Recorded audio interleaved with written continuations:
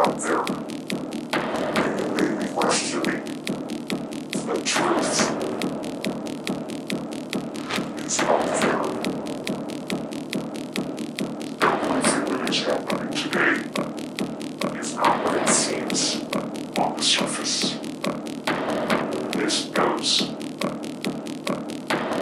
much, much